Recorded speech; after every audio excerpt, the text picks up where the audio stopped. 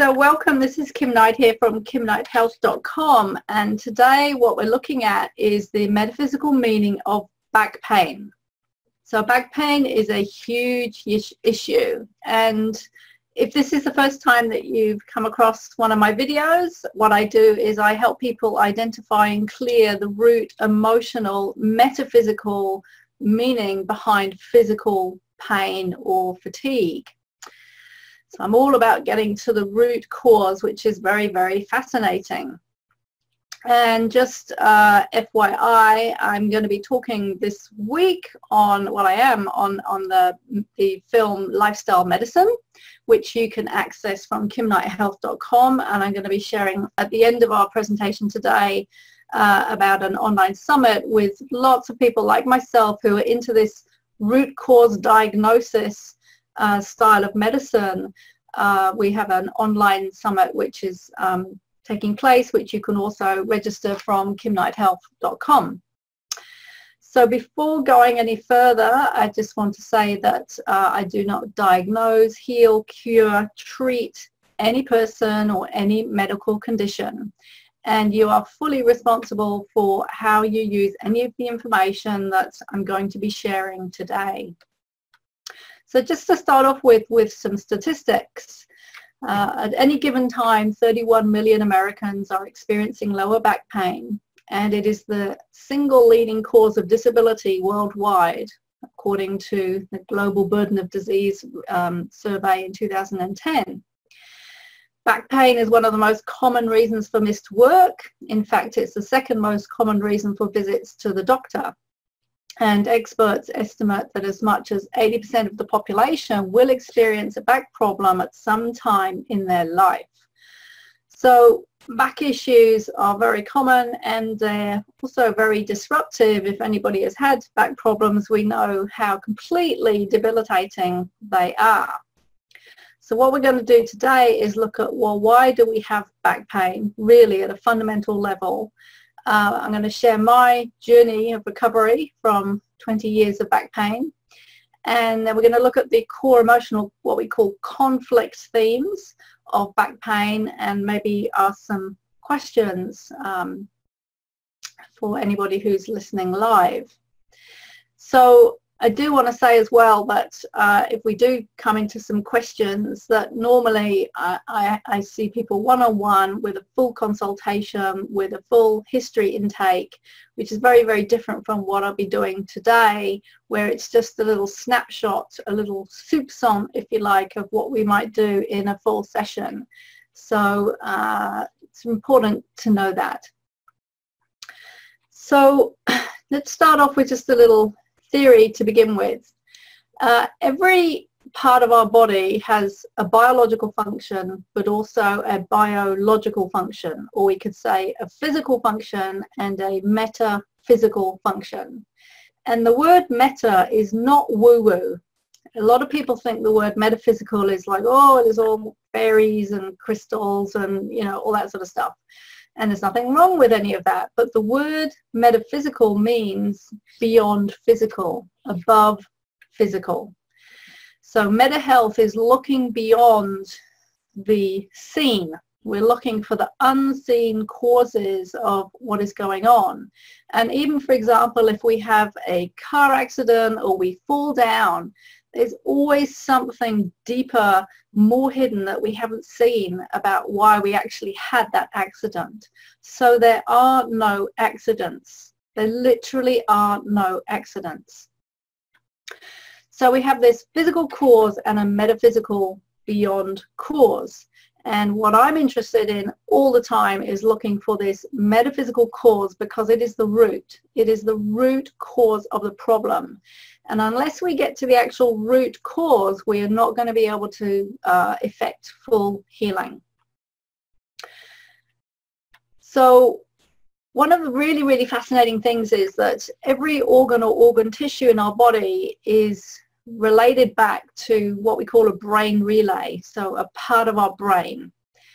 And uh, there are four specific areas of the brain in general and each of these four areas of the brain have a different emotional conflict theme. And what this means is that if we have a certain emotional conflict theme or emotional trauma or um, emotional stuff stuck in our body, uh, that it's going to relate to a certain or affect a certain part of our brain, which in turn will also affect a certain part of our body. And this is all the body's incredible natural intelligence. It's, it's doing exactly what it needs to do. If we have a pain or a symptom in a certain part of our body, it is absolutely perfectly meant to be in that part of the body because there's a message, there's a meaning, and we have to identify and, and discover what that is, which is why I call myself the Kiwi Health Detective because that's what I help people to do. So these four areas of the brain are the brainstem, the cerebellum, the cerebral medulla, and the cerebral cortex. And you don't really need to know that, to be honest, in order to understand what I'm sharing. It's just interesting. And the brainstem and the cerebellum are more part of the old brain, uh, our reptilian brain, the first part of the brain that was developed, uh, you know, as a human being. And the cerebral medulla and cerebral cortex are part of more the new brain, which developed later. And there are four core themes that relate to these four brain areas. Uh, there's, for example, survival uh, and um, ability to digest um, well, digestion, let's just call it digestion, uh, integrity and protection. The, these are, by the way, the emotional conflict themes. So we have survival and, and our ability to digest life. We have integrity and protection. Um, in other words, being able to protect ourselves and maintain our integrity. We have inferiority or self-worth uh, self-value, all that sort of thing. And we have territory and social contact, which is, um, you know, outside of us, um, uh, the people around us. And so we're looking really, when we're talking back pain, we're, we're mainly looking at musculoskeletal. It can also, you know, overlap into other organs and organ tissues, but I'm just trying to keep it simple here. So we're really looking at musculoskeletal. And if we ask ourselves what's the job of the spine and the musculoskeletal system, in general we could say, well, the spine is to, you know, hold our body up and to maintain structure and strength. And we know that. We don't even often think about it or ask ourselves, but that is actually, you know, what, what our spine and skeleton and skeletal structure and muscles are doing and obviously the muscles they also allowed us allows allow us to move. So I mean they have many many different functions so we're really simplifying here. But to put it really succinctly the physical job is structure and strength.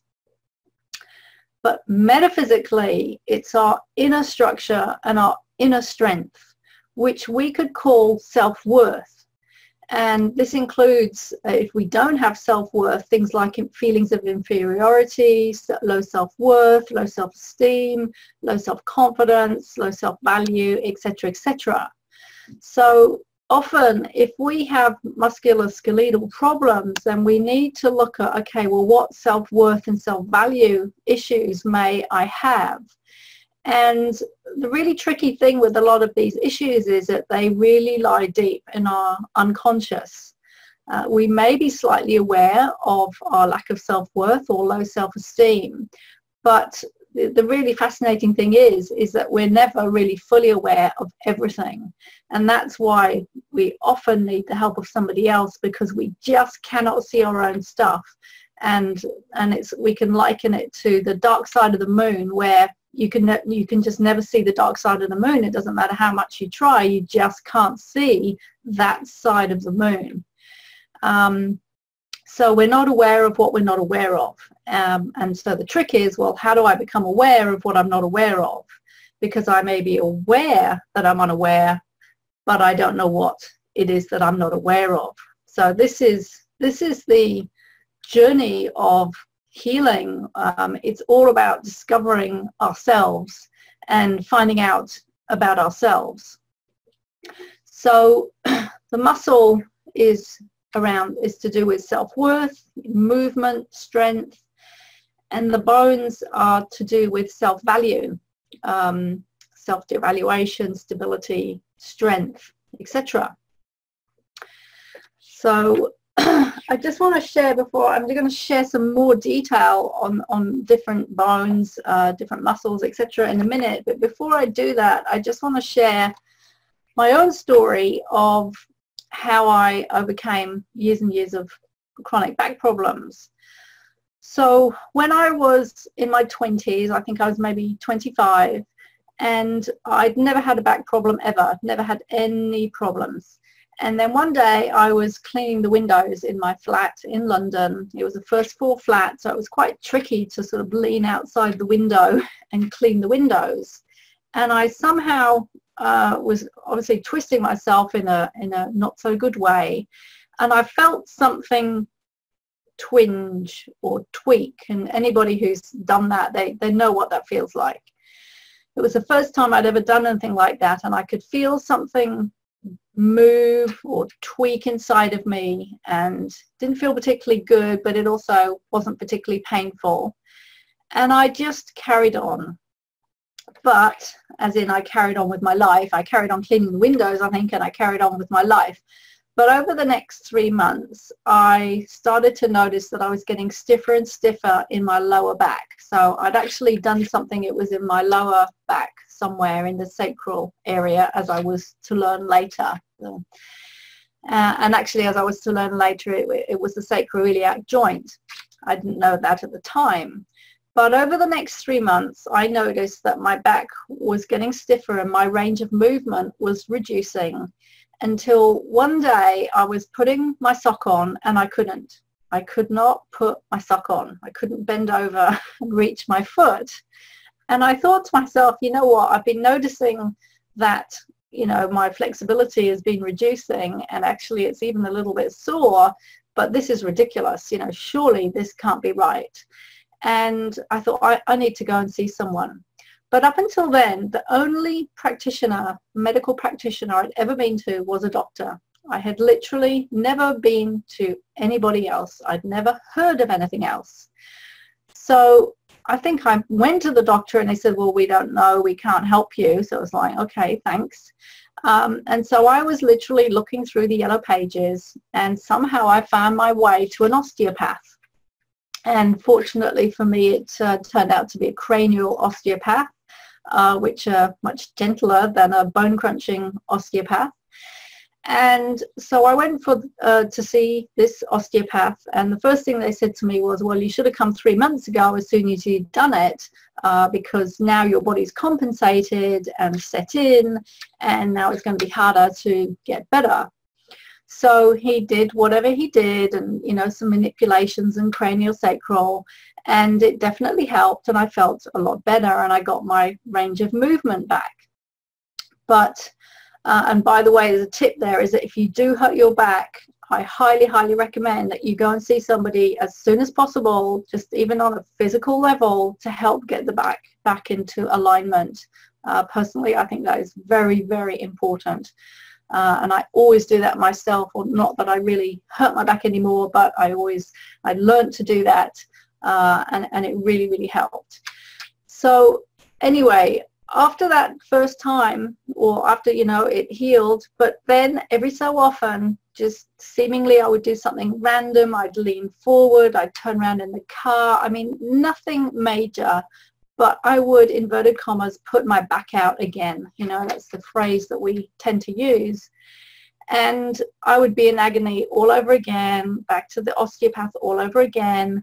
And I remember one time being out of London at a photography course and I, I don't know, I can't even remember what I did, but I woke up in the morning and uh, literally could not stand up. I was literally at a 90 degree angle, like a little old lady that you might see walking along the street with a walking stick and they're just bent at 90 degrees. And that was my range of movement without being in agony and it was amazing. I went and had a session and and that was actually maybe actually that was the first time that I had a craniosacral session and I was just absolutely blown away by the fact that it seemed like he was doing nothing and yet after 30 minutes I could stand up straight.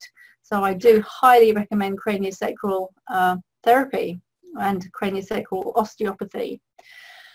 But even though I kept on having these treatments and I would be fine after a day or two, uh, I mean, sometimes I had really bad uh, times where I couldn't even get off the floor. I'd be lying on my back on the floor, could not move. This kept on repeating, repeating, repeating. I have lost count of the number of times that it, that it happened. And then I had a turning point. And the turning point was probably about 20 years later. I was in New Zealand by this time and I was on holiday in the South Island. And I got up on my first morning really, really excited, uh, looking forward to going skiing. And I was trying on my ski boots. And I just had my legs crossed, was putting on a boot, pulling it up, boof, back gone. Absolutely immobile, in absolute agony, lying by myself in this hotel, uh, not able to move, uh, lying in bed. After about a, an hour or so, I, I, rang the reception and said, listen, I can't move, uh, I need some help. And they uh, sent the doctor around, took about, I don't know, an hour or two to arrive. He gave me morphine, checked on me a couple of hours later, still couldn't move, still in agony despite the morphine, was told that I couldn't go to hospital, it was too too far, it would be too painful, and so they arranged for me to go and see the local osteopath. So they took me in an ambulance, took me to the to the osteopath. I was totally out of it on morphine, uh, you know, just just in this drugged, you know, space. And she gave me a treatment. And then at the end of the treatment she did something extraordinary. She said okay you're coming home with me and we're going to look after you. And i was blown away. There was a complete stranger had just offered to take me home to her home and i mean i, I was so you know i mean I was I couldn't even think straight. I mean, I could barely get words out of my mouth, but I just agreed. And so ambulance took me to her home. And for the next five days, or no, it was less than that, it was three days, I think, she gave me a treatment every day. And I would, you know, I went from crawling along the floor to crawling on my knees to being able to walk very gingerly. And over that three-day period, I uh, had an incredible um, recovery. And it is amazing how our body can recover even when we've been in agony you know three days later we can be okay again and i i felt after about four days you know what i, I don't want to impinge on their you know I, I just feel like i'm in their home and I, I, I need to go and I also felt like I was well enough to go so I said to her listen I'm, I'm going to leave today because I was staying at a guest house not not too far away and she said, yeah, that's fine. Still come back and have some treatments. And just as I was leaving, she said something and I got it. I got why I'd had all my back problems. Now, bear in mind that what was happening for me or what happened for me is going to be slightly different for you. Um, so this is, I'm not saying that what I'm about to share is the cause or the solution to all back problems. It was just that it was the missing piece for me. So as I was leaving and getting into the car, um, she said to me, you know, you've always got someone, uh, sorry, you've always got somewhere to come to if you need to. You can always come back here. And nobody had ever said that to me. I had never felt like I had ever, ever had somewhere to go because I grew up in a very emotionally unsupportive, environment. I mean, my parents, they did their absolute best and they're lovely people and they provided for me in many ways, but I was not provided for at all emotionally. And I felt very alone and very isolated and very unsupported as I was growing up. And so when she said this to me, she said, you know, you've always got somewhere you can come back to. It was like, wow, nobody has ever offered that to me before and I've never experienced feeling supported and nurtured and, and safe in that way before. And and ever since that like once I got that that total understanding of, oh my goodness, this is why my back, I've had back problems for 20 years because I never have really felt supported. I didn't have problems again. I mean, occasionally, yes, I might tweak my back, but nothing like what I used to. Um, very rare. And for example, uh, I never used to be able to do yoga. I'd always put my back out doing yoga. Now, don't have problem and you know and so i'm older you know i'm 20 years older and yet my back is stronger so that was my learning around back problems and you know there are some methodologies which um, go through and, and, say you know well each each um, each vertebra has a different meaning and uh, you know, there are just, there's, there's a lot more information that, a lot more detail that we could go into, but not going to go into here. But what I will do is share just a few uh, of the themes of different parts of the back. So for example, uh, the cranial bone and the skull and the cervical spine and the neck can be around moral or intellectual self-devaluation. So of course we're nearer to the head, we're nearer to the brain, you know, like am I intelligent enough? Uh, that sort of thing, you know, feeling dumb, feeling unintelligent, um, that, that type of self-worth issue. Uh, our shoulders, of course, it's like we carry our burdens and a weight on our shoulders. So it's like, okay, well, what weight are you carrying on your shoulders if you if you have problems in, in the shoulders? the ribs, because we've always got to think what is the physical job of that part of the body and what is the metaphysical job of that part of the body. So for example, the ribs, they protect, right? The ribs protect our internal organs at a physical level. Um, so if we have problems with our ribs, often we don't feel like we can protect ourselves.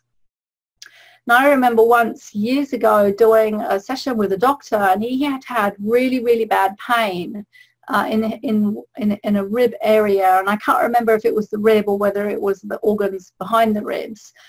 But I remember that he had this really bad pain for years, like several years in his ribs. And we did a little session, one of my Kiwi Health Detective sessions. Uh, we did a shortened version of it at the time, I remember.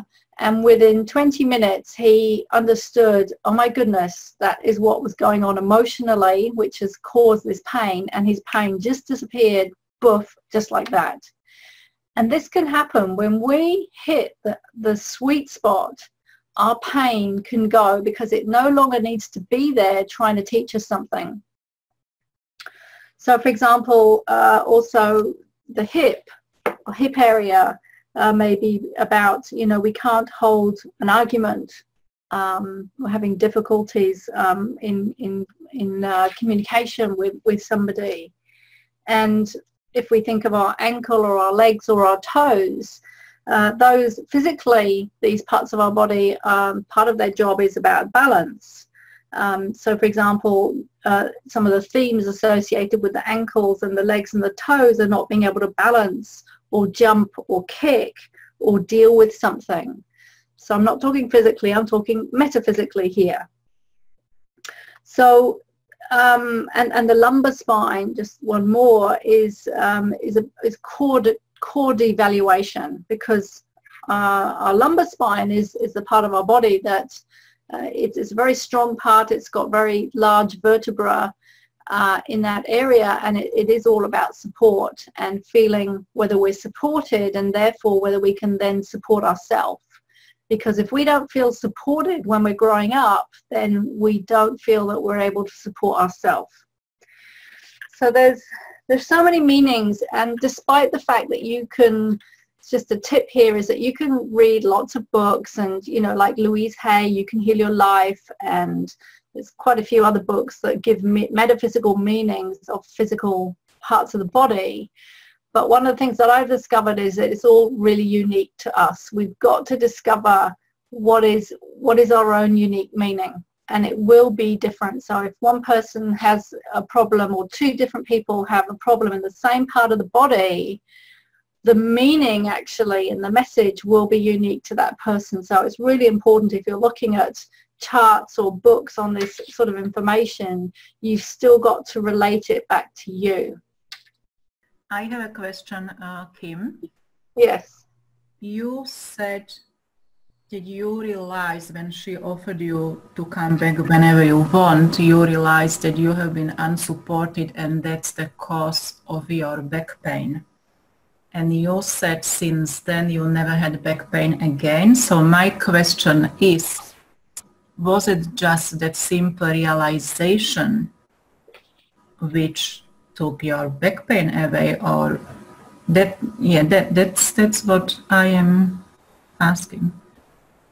Well, I, I, I said that the main problem was gone. I, I actually have had a few little niggles, not recently, but after that I did have some some niggles. But it was like the whole thing changed. There was like it a turn. Sorry, getting some funny feedback. I'll just I'll just mute you while I'm answering. Um, I, I, it was like there was this turning point. With that realization was a turning point, and and it's also to be remembered and be borne in mind that I'd done a lot of personal development on myself up to that point. I'd been, you know, digging deep into myself and understanding myself and healing myself from many other chronic illnesses, uh, which were also connected with all of that. and this is the thing, as I said at the beginning, this is only a snapshot what I'm talking about today.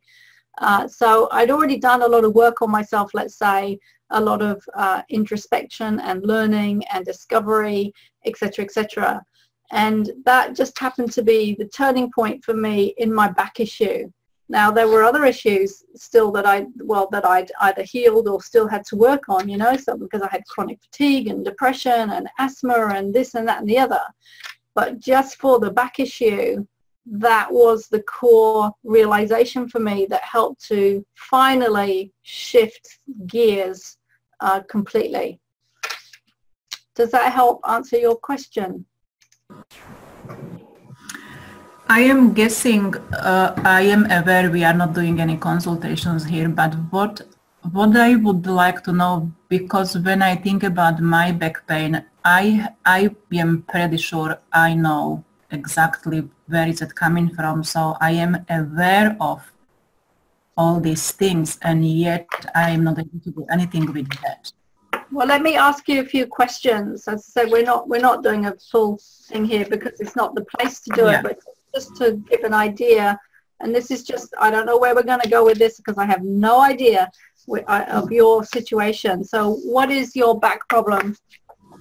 Well, exactly what you just said, it's exactly the same thing, unsupported since I was born. I lived in very unsupported family and somehow for some reason I always feel unsupported in the relationship so that unsupported feeling and financial insecurity, I believe it's an absolutely number one problem of my back pain. So can you, actually what I was asking uh, was I, would like to know physically what's going on. Ah, physically, oh, I just, uh, I just constantly get that lower back pain sometimes I just uh, do yoga and I just can't move like you said anymore. After yoga, I have to stop. Sometimes I just stay longer and my lower back pain is really too bad. And now recently, this happened three weeks ago when I have done absolutely nothing and I started to have such a severe back pain and I actually understood without even talking to you I guess this must come from emotional background because I haven't done anything to my back and it's just painful, painful, painful. As, as you said, I can't put, so- put socks on, right. which is not much fun anymore. Right. So, um, so when you say lower back pain, can you be more specific as to the uh, area of your spine? If you would see me stand straight, I am completely into right side. No alignment of my body is on the right side. It's not straight, but my right side of lower back is always, you know, kind of you can see it. I can't put myself back to that alignment. And it's yeah, but all I'm all I'm asking is for the physical location. Yeah, so the right side, you're saying. It's no, it's both sides, but uh, I am kind of out of alignment on the right side, but the pain is on both sides, left and right. Right. And, but if you went to a chiropractor or whatever, what yeah. part of the spine are they labeling it? I just want to know. He does my lower back. He always said my upper back is uh, as iron. He can't even move it, and he does my neck. Sorry, he can't move which part of your back? Uh, upper, upper back. back. He says it's like iron. Yeah, that's what he said. So he hasn't given you any particular vertebra. He just says lower back, upper back. Yeah, he gave me those three uh, last lower vertebrae. He said they completely, uh, they don't have that. So the know, lumbar. Lumbar, yeah. Yeah. So when you have the back pain or or stuckness, how would you describe what it feels like? How they describe it feels like it's completely enabled me to do anything because whether I sit, whether I walk, whether I do whatever, I am such in so much pain. It feels frustrated. Mm-hmm. So I'm writing down, so sometimes I take a bit of a moment to reply. So if you had to use a metaphor to describe what it feels like, so I'll give you an example. Say somebody had an itch, they might say it feels like um, it feels like I have an ant's nest under my skin. If you had to use a metaphor to, for the pain, you and you had it feels like. It feels like I am stuck. mm-hmm. So when was the first time that you ever had this problem? Oh, when I was 20s. It started in my 20s. But it's getting worse and worse and mm-hmm. worse. So do you remember the first do you remember the first time it actually happened? Like I had a very clear memory of the first time it happened for me. Do you you may or may not. Do you no, No, not quite like you. So it just sort of came on slowly?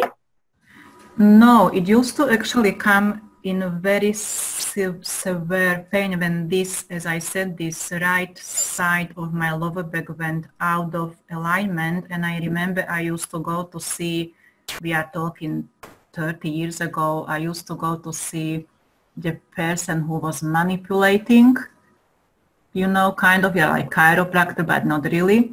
Right. No, what I meant was when I said over time, it's like it I mean, yes, the, the pain came on very quickly when it happened, but it just, was it something that just sort of came on over a period of years or? Don't know what you mean, Kim. It kept on happening it, it, and it kept on repeating. Yeah, it kept on repeating, but it was it was happening maybe once in uh, six months, and now it's there all the time. So the frequency became more regular. Right. So it started in your 20s. Mm. You, when you say 20s, are you talking 21, 22, 25, 27? I would, I would say after I gave, gave a birth, so when I was 20, yeah. So about when you were about 20. Mm. So what was going on in the six to 12 months before it's in your life, in the six to 12 months before it started? Oh my goodness, I moved to live with my parents-in-law in Slovakia who lived with their parents-in-law, so it was three-generation family and they absolutely hated me because I came from poor family.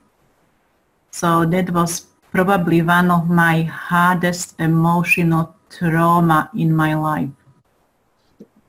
Mm. So you moved to live with your parents-in-law who were living with who were living with their parents-in-law yeah. and they hated you because you came from a, a poor family and it was mm-hmm. the hardest emotional experience of your life yeah mm-hmm. So when you went to live with them, how did you feel? Unsupported, unwanted, useless, everything what you can imagine. No self-confidence, no self-value, nothing. So I felt, I felt like I was, somebody was holding cushion on your face all the time and you couldn't breathe. So what type of emotions would have because when we feel unsupported and unworthy and useless and we don't have self-confidence and, and, we feel like somebody's holding a cushion in our face, we're going to feel certain emotions.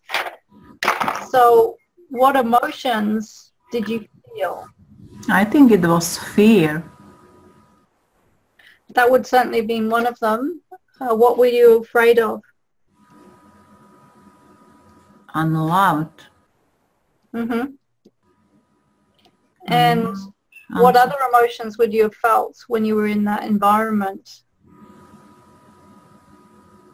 I felt like I was completely trapped and I didn't have any, I couldn't see any way to get out of that situation. Yeah, so you, so you felt trapped, but what I'm trying to help you identify, because this is a missing piece for most people, is they're not identifying their feelings. What yeah. are the feelings were you feeling if you were feeling unsupported, unworthy, useless, um, you know, trapped?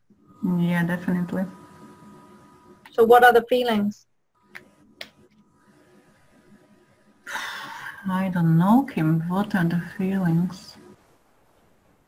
I wasn't good enough. I don't know. It was probably everything. So that's a belief or a thought. I'm not good enough, right? So I'll give you some examples of core emotions. Anger, frustration, hurt, disappointment, sadness. Um, All of it. Right. Definitely and, sadness was very big. Mm. And how did you deal with those emotions at the time? I, I even can't imagine now in my 50s how could I actually do it. I don't know. I was I was actually absolutely, I looked like anorexic. I couldn't eat, I couldn't sleep. I was scared to get out of my room. I was scared to move or breathe or say anything. It, I, I don't know how I deal with it. I, I guess I was just crying when I could in my room. So how long did that situation go on for? 30 years. So you were in that situation, that environment for three years, feeling mm. that way all the time. Did you go down for the mail? Huh? No. yes, oh. yes, Kim. I? Yeah. I am talking oh. to someone. Oh, sorry. Yeah. So I want to come back to some of the words that you've shared. I mean, obviously, well, to me, it's quite clear where at least some of this problem is coming from. Uh, and like you said, you know where it's coming from, but you don't know how to deal with it and that's not the place to do that, to do that here. But if I was to, one of the ways that we can get clues as to what's going on is that we, um, I'm just going to put that on mute because it's very noisy, um, is that we can look at the words that we use to describe our physical pain because they tell us actually how we're feeling emotionally. So if I was to ask you, what do you feel, and this could be now or it could be in the past, and they're always connected because the, the, the, present repeats the past if it's not resolved. So if I was to ask you, well, where did you, or you know, either now or in the past, where did you feel disabled um, or frustrated or stuck? What would you say? Say it again. Where did I feel? Disabled, frustrated, and stuck, and feel like you know everything's just rigid. Uh, actually, it's so interesting what you just said that things are repeated. I feel like that the last two years. Again, exactly the same feeling. Different scenario, but same feeling. Yeah. And the reason that you'll be having whatever you're experiencing today is because whatever Things that in the past have not been cleared at an emotional level. So that energy is still trapped in your body. So the energy of, you know, how it felt for you living in that family is still trapped in your body and that has to be cleared. And then usually I can pretty much safely say that that in itself is a repeat of previous stuff as well. It's mm-hmm. like we mm-hmm. go back, we go back, we go back, we go back, and we go back to the original thing. And then, you know, especially when you clear the original stuff, then everything else falls down like dominoes. Um, but does that give you, you know, some insights there? Yeah, absolutely. Absolutely. Yeah. I so think I am, is, I am on a good way to get rid of it with your help. yes. So the key is it, it's actually, you know, once we identify the cause, because I don't spend very much time, to be honest, with people on the on the cause of the problem. We do that very quickly. Most of the time is spent resolving the problem. Mm. you know, we don't have to keep looking at the problem, looking at the problem. No, yeah. it's about clearing the problem and clearing the results of the problem. And yeah. and so we only when I work with somebody, we only look at the problem in the first session, and then the rest of the time is spent is spent resolving the problem, and it's all around clearing the trapped emotional energy that is trapped in the cells that is causing the body to either have symptoms or a misalignment or whatever it is because there's this trapped or blocked energy. And it's that simple. Makes sense, Kim. Thank you. Yeah. Yeah. So you're on the right track. Healing for me. I am so excited about it. Thank you so much for today. Awesome. Okay, cool. Okay. Bye for now. Bye. So just to finish, uh, if you're interested in learning more about this, I do highly recommend that you check out the film Lifestyle Medicine, which you can do on my website, kimknighthealth.com.